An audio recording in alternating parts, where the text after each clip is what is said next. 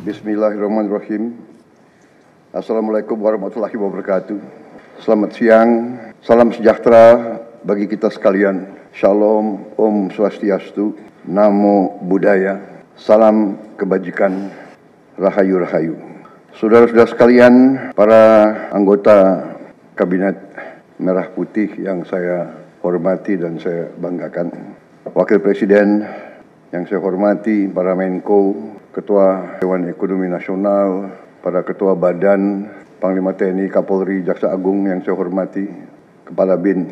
Saudara-saudara sekalian, saya terus-menerus sudah beberapa tahun ini maju ke hadapan rakyat Indonesia kepada semua pemimpin politik, pemimpin masyarakat, pemimpin agama, pemimpin pengusaha.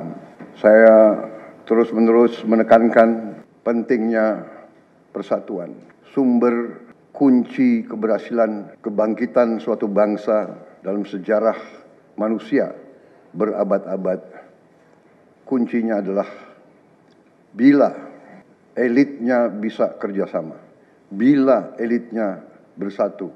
Persatuan ini artinya adalah kita bisa sepakati mana adalah kepentingan nasional yang inti, mana adalah kepentingan nasional yang vital bagi kelangsungan hidup bangsa kita.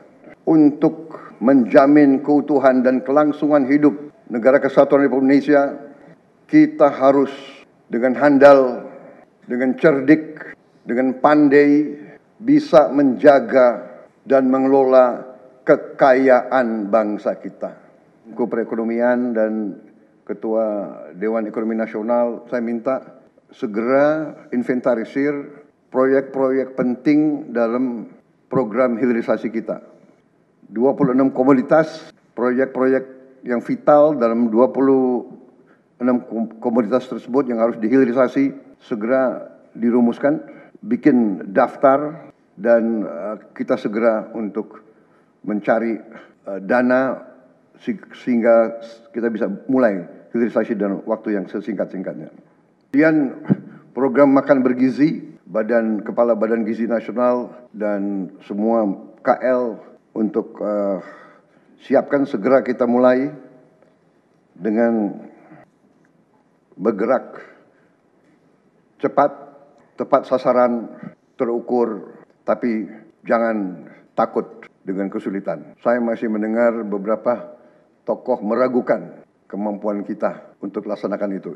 Saya tidak katakan bahwa ini bisa selesai dalam satu minggu, dua minggu, atau tiga bulan. Tidak ada di antara kita yang punya tongkat Nabi Sulaiman. Tapi kita bisa berhitung, kita bisa mengelola, kita bisa alokasi dana, kita bisa kerahkan sumber daya. Dan kita akan mencapai target yang kita tentukan. Saya hakul yakin, saya pertaruhkan, saya pertaruhkan kepimpinan saya. Bagi saya, makan bergizi untuk anak-anak dan ibu hamil ini adalah strategik yang tidak mendukung hal ini silahkan keluar dari pemerintah yang saya pimpin. Kita satu tim harus yakin semuanya. Ini bagian daripada rencana kebangkitan bangsa Indonesia. Dan sesudah itu tentunya yang saya katakan pendidikan, pendidikan sangat mutlak. Saya sudah panggil Menteri Pendidikan Tinggi, Sains dan Teknologi dan Menteri Pendidikan dasar menengah kita sudah mempunyai gambaran besar bagaimana kita segera akan menyentuh semua anak-anak kita. Kita akan gunakan teknologi untuk mempercepat membawa pendidikan pada anak-anak kita. Dan ini sesudah itu tentunya kesehatan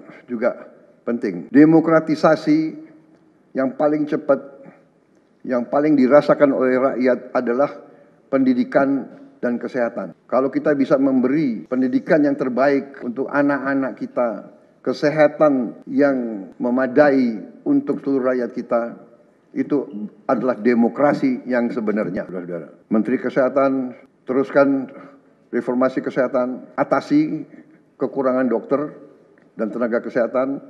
Kita punya program khusus, nanti kita bahas terus sendiri. Ini semua harus ditopang oleh pertahanan yang kuat, penegakan hukum yang tidak ragu-ragu.